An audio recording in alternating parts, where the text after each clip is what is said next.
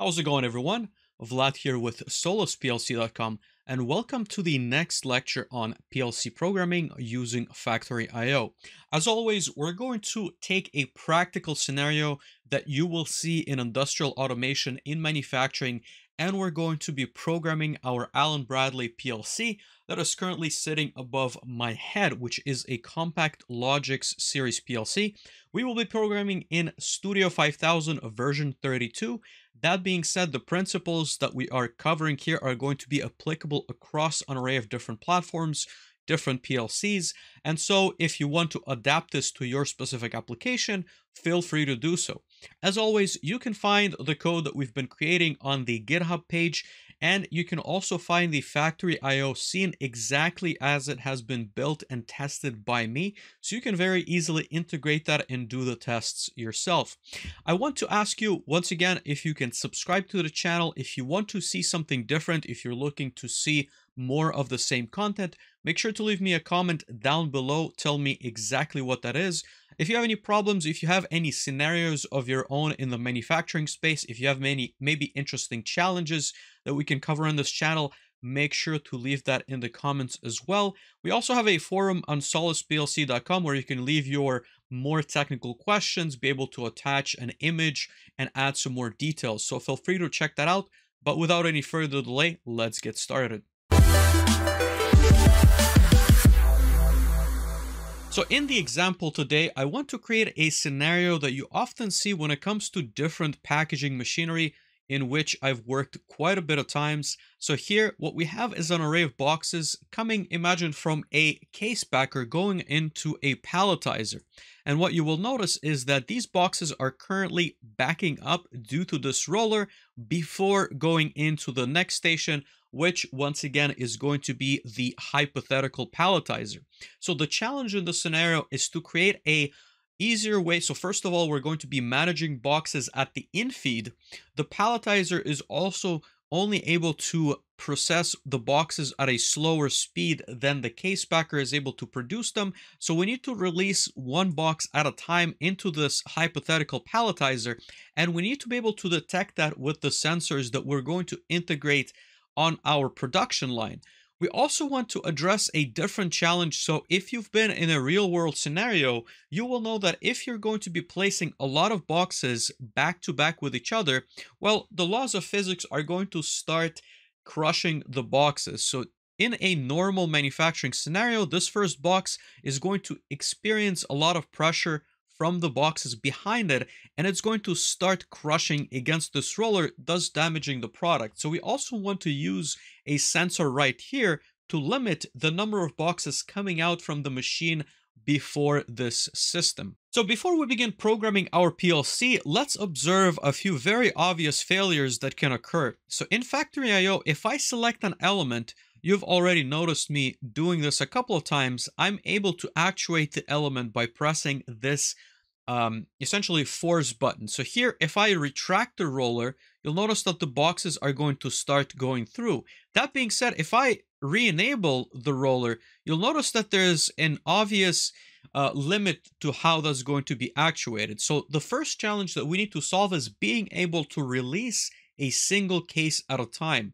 And some of you have already encountered this challenge. The easy solution to this would be to accelerate the conveyor belt that is after the roller in order to pull this box forward and then when there is an opening we're going to release this roller back in place.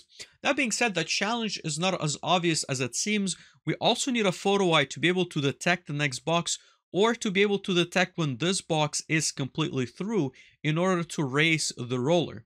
So I believe that the easier approach is going to be to raise this roller once the box has finished passing through. So I'm going to once again use my factory IO panel. I'm going to drag out a sensor.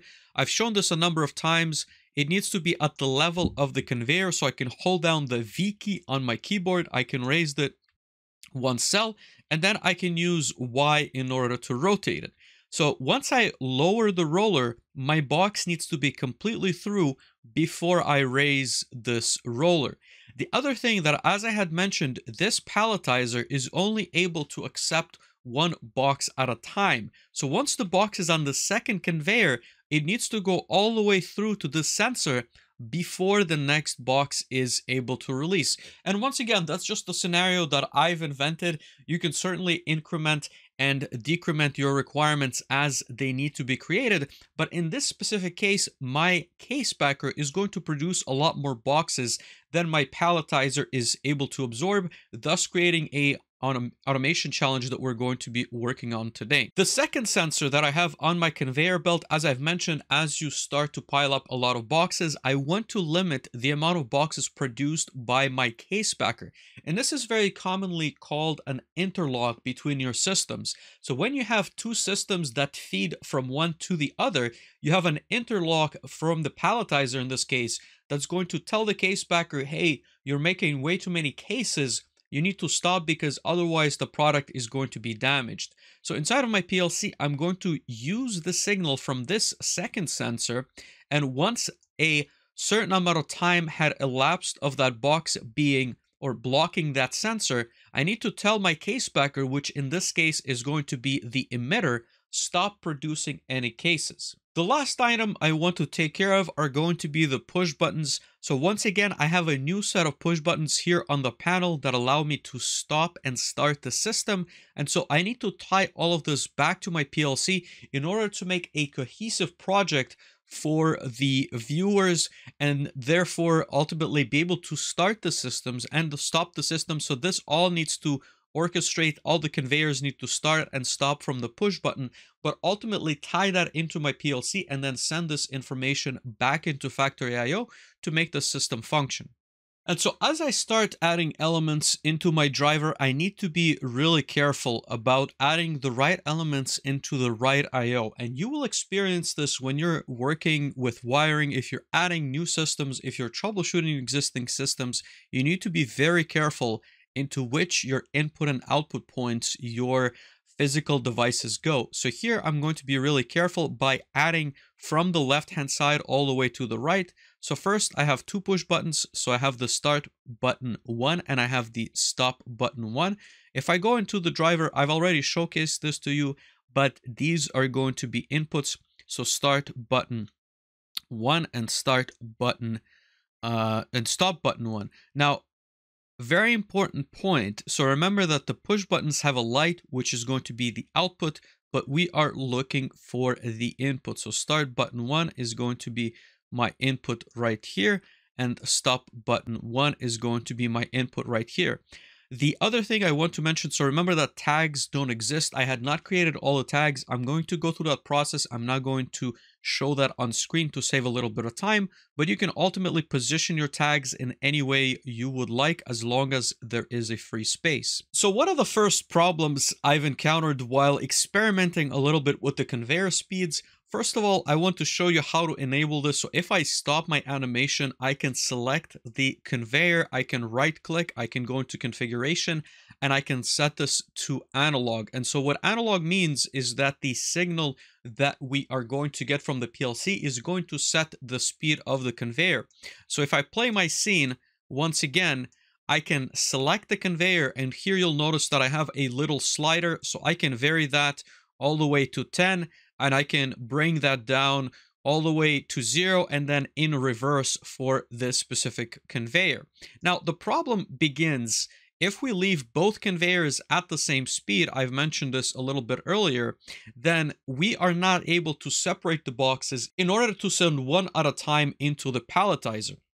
And so again, just to demonstrate, if I select my roller stop, I can unforce it and then as soon as I try to force it back when the sensor is cleared, it's going to either allow two boxes, it's going to get a box stuck. It's not an ideal scenario. And once again, this is a common problem that you will see in your uh, manufacturing conveyors. So the way we can uh, approach this problem, or one of the ways that we can approach this problem, is we can select the other conveyor and we can slow this down.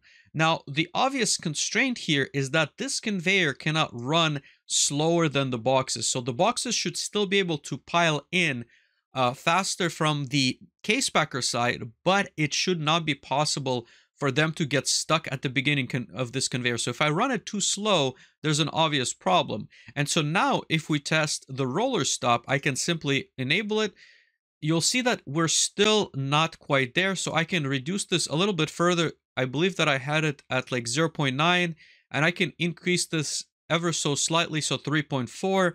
If I release the stop, we are barely able to make this box and so the idea here, again, we can play with the speeds.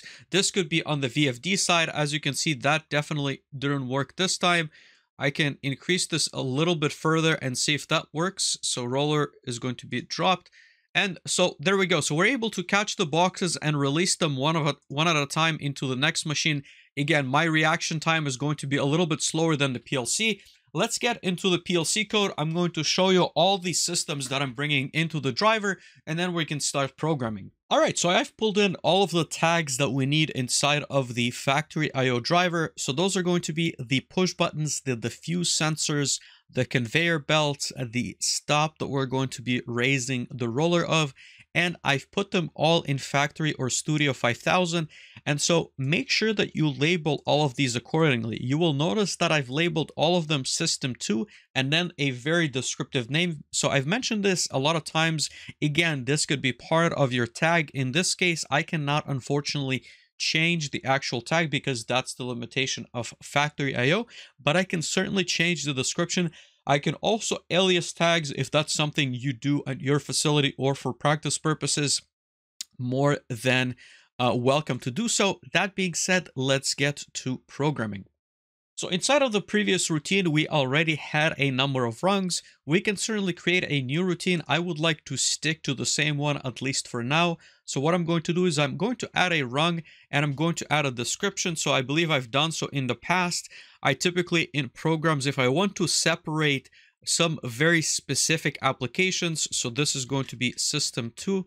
So I've done this in a production environment. You can add even more symbols you can also describe what your system does. So the comments are there for that specific purpose. So I'm going to say um, the infeed slash discharge conveyor system between case packer and palletizer because that is our scenario. I'm going to click away and I can start programming my system. So remember the first state is going to be the push buttons. So the push buttons are going to enable the entire conveying system and then the logic is going to apply. So we've already created this logic in the past so I can simply add a couple of tags just as we've done again at the very top. It's going to be the exact same uh, rung. We can obviously copy paste that as well. I'm going to just zoom in a little bit so you can see better and I can see my screen better as well. So remember, if we ever forget the tags, it's very easy to navigate back, but we can also take a random tag here and based on the descriptions, we can simply iterate through that index. So instead of four, I remember it was six and that is the start push button. The stop push button was a 7 if I am not mistaken, but my descriptions should not lie, so I'm going to remove this. And this is going to be a custom tag, which is going to tell me that the system is enabled. So I'm going to label this tag with S2. And here I'm going to say system running. And I'm going to create this as a Boolean, so new system running. Boolean underneath tutorials. That's fine because I'm not going to read this tag so it can be program scoped. That is perfectly fine by me. I'm going to copy this OTE, paste that right there, and ch change that to an XIC. XIC. Perfect. So if the system is running, the stop button is not pressed, we should be in a good condition. So when my system is running, all the conveyors should be running. So I never had to essentially change the uh, run or stop of the conveyors, but we need to send, remember, the right values to the conveyors. So what I'm going to create here is a rung that will either send a means to enable the conveyors or disable them or set the speed to zero for the analog conveyors. Again, in a real world, world scenario, you could permanently set the speed on, let's say, a variable frequency drive, or you can set them and then allow the contactors to simply enable or disable the motor.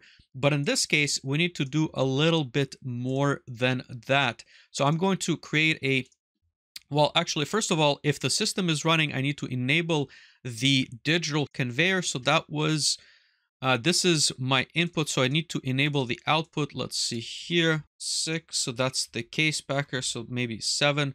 There you go. So conveyor one is going to be enabled. Of course, we need to change that to an OTE instruction, but that's not all. If we are running, then we need to set the speeds of our other two conveyors, and we can do that using a move instruction. So here I'm just going to drag out an XIC, change that to a move. Again, whether you branch that out or you simply put it in line makes absolutely no difference in this specific case. And I'm going to set them to the speeds that we've discussed earlier. So if I'm not mistaken, 0.8 was for the first one, and that was Solis PLC F out. And if I'm not mistaken, that was zero. I'm going to go view that tag. Actually, let's just navigate into my program scope tags. F0. So looks like I mislabeled this. So this is going to be the output instead of this. So I'm going to remove this description. And then the second tag is going to be the F output 1. And that's going to be my second conveyor. And so again, we can change the speeds afterwards. We're going to simply write this in and then see what um, what that looks like in just a moment. So let's go back to our program which is factory IO sim. And here I'm going to write it like that. That's perfectly fine. And then the second conveyor, if I'm not mistaken, we had written a 3.0. We can fine tune that once we test it out. So that's going to be right there. And if the system is not running, so remember that this is going to be disabled, but the move needs to be re-executed again. So I'm going to branch around this. I'm going to put this here and I'm going to paste first of all, I'm going to put this as an XIO. So if the system is not running, then I need to set both of these conveyors to zero. And that should be all we need to do in order to test out the start and stop features of the conveyor. So I'm going to save this logic, press on yes, and then I'm going to start the simulation in factory IO. I'm going to unforce or remove all the forces that I've done on the system and start my testing. So just as we would expect, as soon as I press the start push button, my conveyors are going to start rolling. Again, at the speeds we have set in our program, we can see them in the top left-hand corner of Factory IO. Once I press the stop push button, everything stops. And as we would expect, none of the boxes are going to be moving. The next thing we need to do is we need to enable the case packer based on certain conditions. We need to stop the cases at the sensor and we need to be able to release that into our palletizer. So when does the case packer produce boxes? Well, when the sensor that's going to be with the backup sensor is not blocked. And really that is the only condition under which the case packer should not be producing boxes. So how can we tackle this problem? Well, first of all, going back to the controller tags, I just want to double check the input, which I often do as I'm programming these systems. And that's going to be the palletizer infeed sensor. That is not correct. It's going to be the case packer backup sensor. So this is input 9 I'm going to copy this in and we're going to be doing this based on a timer. So if the sensor is blocked for a certain amount of time, we're going to stop the case packer from producing. And of course, the case packer producing is going to be the uh, emitter that we've created, which is going to be this signal right here, which is B out 6. And so going back into our logic, we can create the appropriate scenario. So here I'm going to create a new rung and I'm going to create, first of all, the XIC and XIO and OTE just so I can see what's going on. So this is the case backup sensor and the output we said was going to be uh, number six. I keep re referencing back to this because it's an easy way to uh, to remember what's going on inside of my program. So I'm going to be putting that right there. So if the sensor is blocked, then I want this to be disabled. And of course, that's going to be an XIO, but this is simply not enough because if this is the case, as soon as the boxes are going to be in front of the sensor, we're going to disable the case packer. So we need to create a timed condition. So here, when the sensor is blocked, I need to be able to count a certain time. So actually, this is going to be XIC.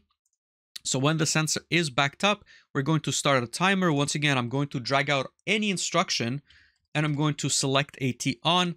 And this is going to be my case packer back up timer. I'm going to create this new timer. I'm going to put that inside of my program. And the preset, again, this needs to be tested. So in a real world scenario, I, I would test this out. So if it's backed up for more than three seconds, I'm going to set this to zero. That's when I need to, to stop my machine. And so if it is backed up and the timer is down counting, I'm going to create a branch like so. And let's see here, this is going to be an XIC with the timer done counting. I'm going to add this right here and I need to remove this at the very end. So what happens in this logic? So when my sensor is backed up, it's going to start with this timer if it's still backed up and the timer is done counting after three seconds, so remember that in this case, it's 3000 milliseconds. So after three seconds, I'm going to disable uh, my case packer. And actually, this is going to be the opposite. So I need to be, when the timer is done counting, then it needs to disable. And so how can we flip this bit? So when the timer is down counting, I need to disable. The current logic would enable it. So I'm going to create another branch around the entire system. And it's instead of placing this here, I'm going to place this on the uh, on the branch here below. And here I'm going to create another condition. So this is going to be OTE, and this is going to be case packer. I'm going to actually label that as S2 underscore case packer backed up.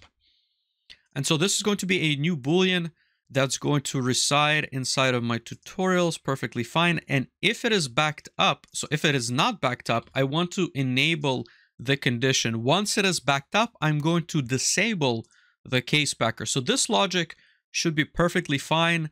Let's test it out. Let's make sure we download it to the PLC and test it out on our conveying system. So if I start the system, what we will notice inside of our program is that the timer is going to count up to about one second and a half. And obviously the case packer is not going to back up. If I go back into factory IO and if I raise or if I force my stop, which is going to be the next component at the palletizer level, then we can observe the case packer back up. So you'll notice that the boxes are going to start piling up. And once enough boxes have been backed up, we will notice that the emitter has been turned off. So in reality, this is going to be the maximum amount of boxes that we will have backed up inside of our system instead of having boxes all the way back to the emitter.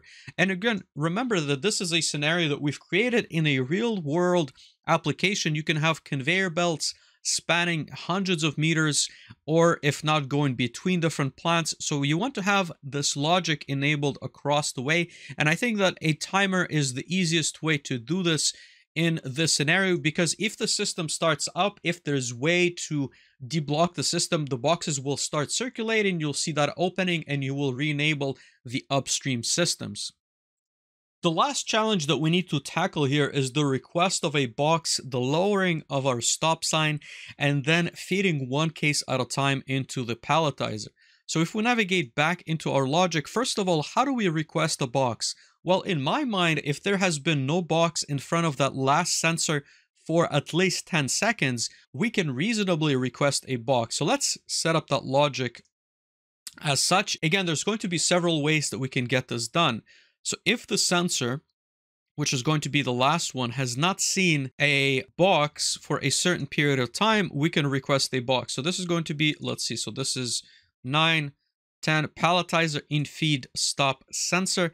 I believe that there's a different sensor that we had there as well. So I just want to double check. Uh, so this is going to be this sensor. So diffuse sensor number three. If I go back into here, diffuse sensor number three is going to be input eight. So let's make sure we use that appropriately. So if the sensor has not seen anything, so XIO, this is going to start a timer on, and this is going to be palletizer empty timer. Once again, I can set this to a very large value. So new palletizer timer inside of tutorials. And let's actually make that 10 seconds so we don't have to wait too long. And if this timer is completed, and if this is still off, so I'm going to create an XIC, it's going to be done. So if this timer is completed, I'm going to use a latch. So this is palletizer needs case. So palletizer needs a case, which is going to trigger the scenario that we need to infeed a single box inside of the palletizer. So I'm going to create this as a boolean. So new palletizer needs case inside of our tutorials. So we know that if the palletizer has not received a case in 10 seconds, it means that it needs another case. What's the other scenario? Well, it's if it has seen a case and it's seen the falling edge of that sensor and that's going to be another condition that we can also bundle in here. So I'm going to add this underneath this rung and we're going to look at an instruction which is called one shot falling and that's going to accomplish exactly that.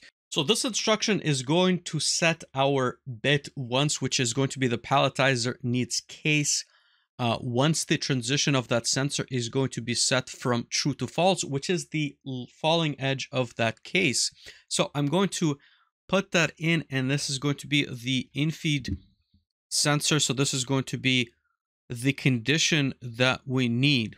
So I can create a dummy storage bit as well as output bit. So S2 storage, and this is going to be S2 output just to make this instruction work. So I'm going to create both of these as booleans. So that's perfectly fine, both on the storage and the output side.